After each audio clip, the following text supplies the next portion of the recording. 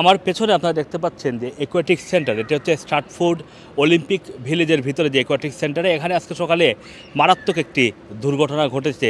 সেটি হচ্ছে এই একুয়াটিক সেন্টারটি যেটি আসলে অলিম্পিকের সময় এখানে সাঁতার প্রতিযোগি- প্রতিযোগিতা সহ আরও বিভিন্ন প্রতিযোগিতার জন্য ব্যবহার করা হয়েছে।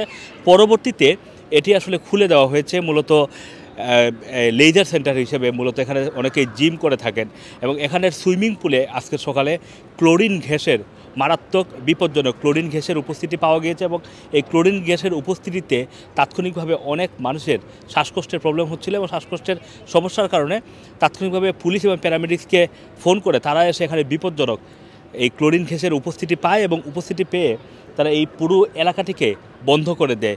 দুইশো মানুষকে তারা এখান থেকে উদ্ধার করে তাৎক্ষণিকভাবে তাদেরকে প্রাথমিক চিকিৎসা দেওয়া হয়। এই জায়গাটি আজকে সকাল থেকে প্রায় দুপুর পর্যন্ত পুরো এলাকাটি মূলত একটি হাসপাতালের মতো করে পরিণত হয়েছিল। মানে ভিতর থেকে মানুষজনকে উদ্ধার করে তারপর এই জায়গাগুলোর মধ্যেই প্যারামেডিক্সরা তাদেরকে প্রাথমিক চিকিৎসা দিয়েছেন এবং বেশ কয়েকজনকে হাসপাতালে ভর্তি করা হয়েছে। এই গ্যাস কীভাবে আসলো সেই বিষয়ে এখনও তদন্ত চলছে, কিন্তু এই ক্লোরিন গ্যাস যেটি আসলে মানুষের জন্য খুবই বিপজ্জনক, এটি শ্বাসকষ্টের সমস্যা তৈরি করে এবং ক্লোরিন গ্যাসের উপস্থিতির কারণে আশেপাশের যত ফ্ল্যাট আছে, বিশেষ করে অলিম্পিক ভিলেজের ভিতরে, তাদেরকে বলা হয়েছে যে দরজা জানালা বন্ধ রাখার জন্য এবং কোন ধরনের কেউ যদি শ্বাসকষ্ট থেকে শুরু করে শরীরে জ্বালাপোড়া বা চোখে জ্বালাপোড়া, এ ধরনের কোনো ধরনের কোনো সিমটম বা লক্ষণ দেখা গেলে তাৎক্ষণিকভাবে প্যারামেডিক্স বা হাসপাতালে সাথে যোগাযোগ করার জন্য বলা হচ্ছে। এই জায়গাটিকে এখনও পুলিশ ঘিরে রেখেছে।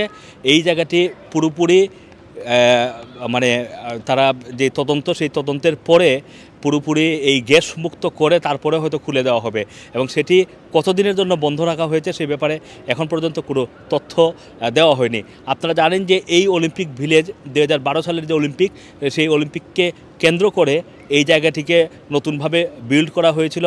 এখানে মানে হাজার হাজার ফ্ল্যাট রয়েছে, শপিং সেন্টার থেকে শুরু করে অত্যাধুনিক অনেক সুযোগ সুবিধা রয়েছে। আমার ঠিক পেছনে আপনারা দেখতে পাচ্ছেন ওয়েস্টাম যেই ইউনাইটেডের যেই এই স্টেডিয়ামটি, এর পাশাপাশি যে অলিম্পিক ভিলেজের যেই মিত্তেল টাওয়ার যেটি অলিম্পিকের জন্য এটি উদ্বোধন করা হয়েছিল, সেই টাওয়ারটি ঠিক এমন একটি, এবং এই এলাকাটিতে শুধুমাত্র যে যারা বাসিন্দা, তারা যে থাকেন, সেটা নয়। এই অলিম্পিক ভিলেজ দেখার জন্য বা ভিলেজের ভিতরের যে সৌন্দর্য, সেটা দেখার জন্য অনেক দর্শনার্থী বা ভিজিটর তারাও কিন্তু এখানে এসে থাকেন। তাদের জন্য আজকে এই দিনটি খুব মারাত্মক ভয়াবহ ছিল। এখন পর্যন্ত এই হচ্ছে স্টার্ট ফুডের যেই গ্যাস লিকের সংবাদের বিস্তারিত।